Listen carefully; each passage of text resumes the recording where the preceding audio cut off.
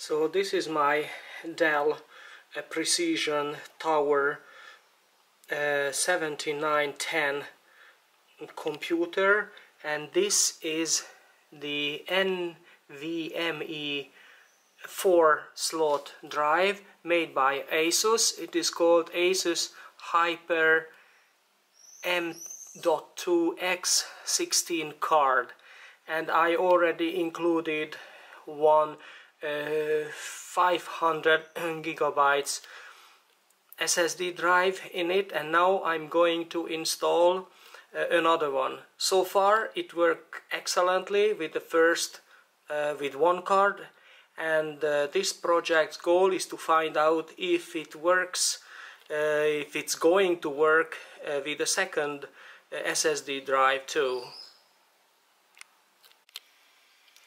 This is the card uh, in the, the back side so these are the four screws that uh, I have to uh, remove to be able to install the second mm, NVMe SSD card.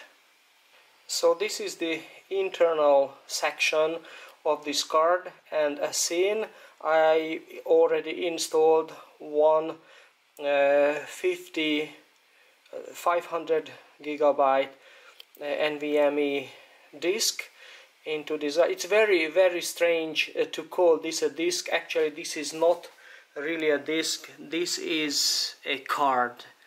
I mean in a, a memory chip or something like that. Okay sorry.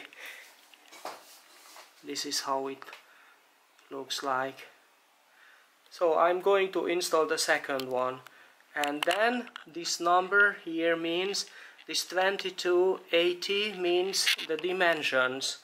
Because as seen this is the place where you have to install a screw which is included in the box.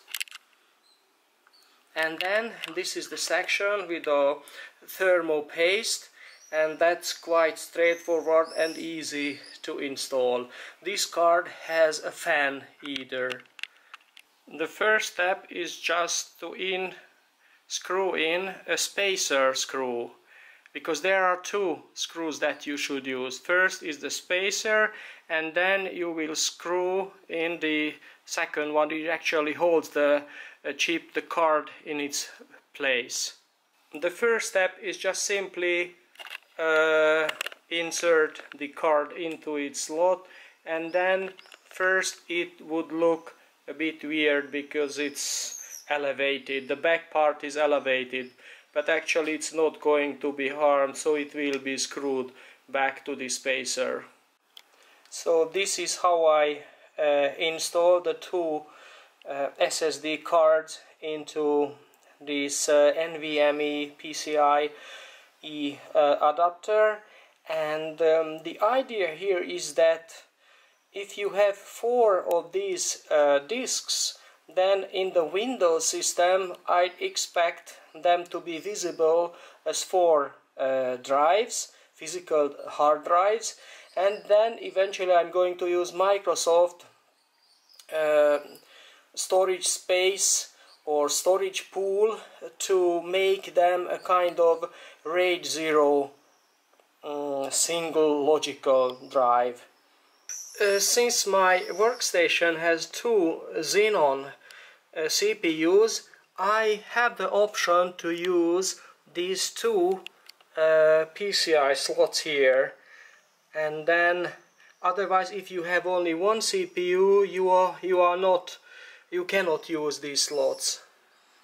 So that's it's important to know.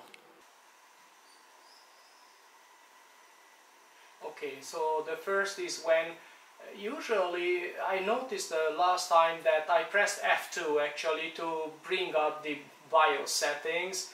So I also recognized when I first installed this PCI card uh, it took some while uh, okay so far so good so I'm waiting for the BIOS to come up and to see if the Dell computer, this 7910, uh, is able to see both of the drives, drives SSD drives uh, in this NVMe card. Brilliant! Both are visible. Ha ha ha! That's excellent!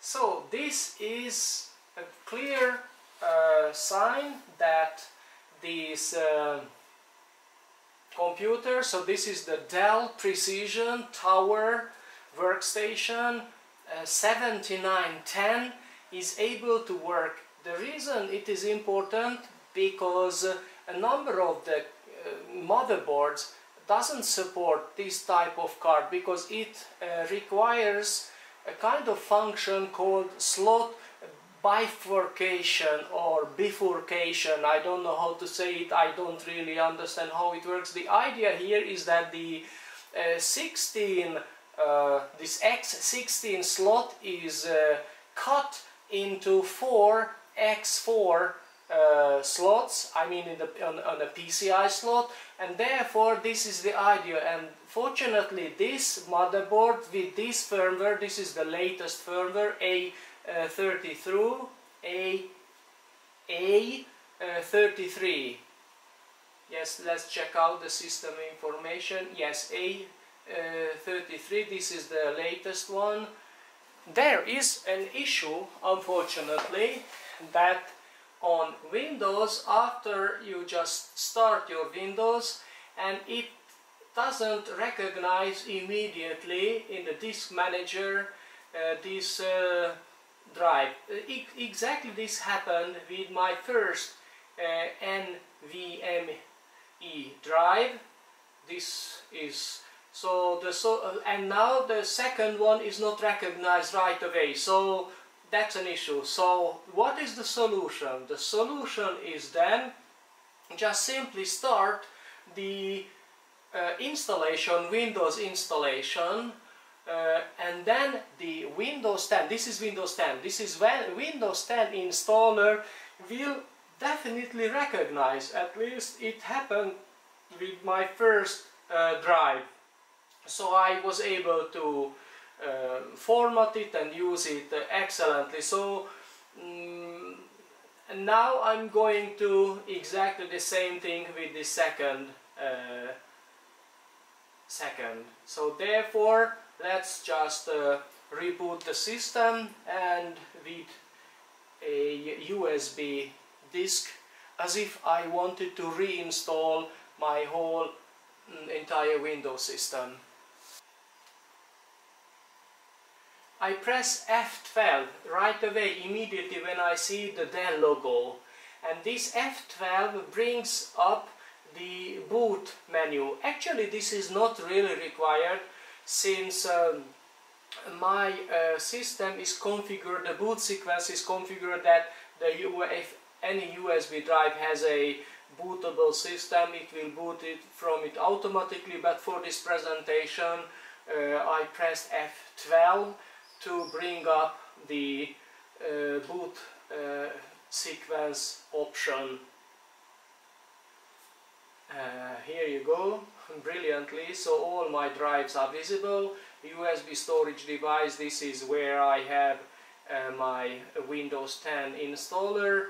This is my SSD, uh, which has the mm, Windows installation, existing one, this is a logical volume, RAID 0, and then these are the two of my uh, NVMe drives. So let's boot from the USB. Yep, installation, I have a UK keyboard. Next, install now. I'm not going to actually install.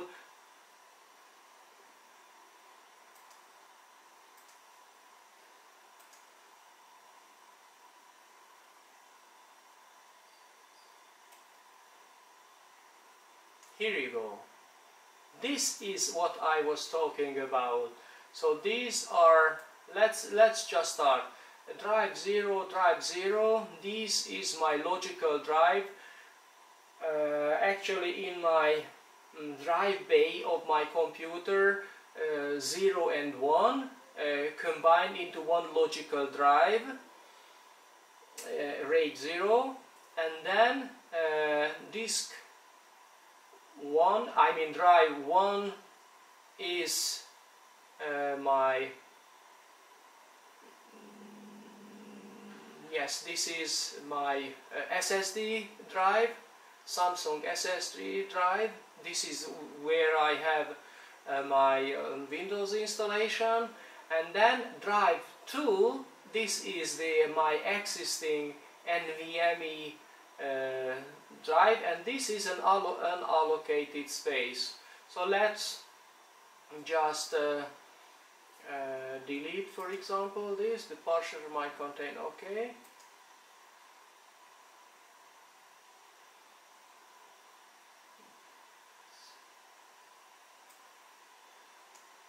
okay so let's just uh, create a new apply.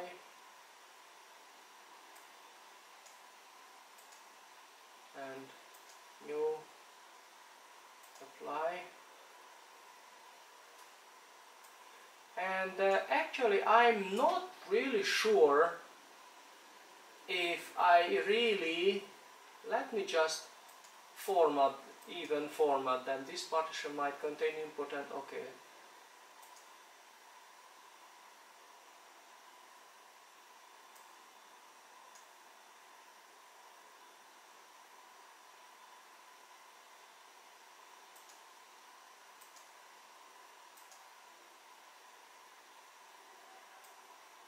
So maybe at this point I can simply shut down my computer. I'm not sure if it's if it's a it's a good idea. Okay, let, let me just proceed with the drive free partition and then uh, with the next.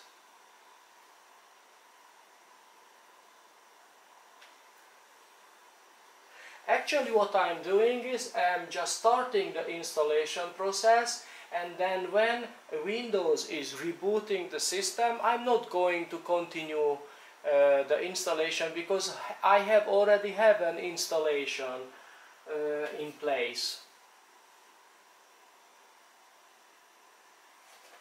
Okay so this is the point uh, when I uh, restart my computer and I remove the USB drive.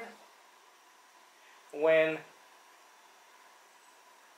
yes now I remove the USB drive and then uh, after restarting my system is going to work with the regular Windows uh, startup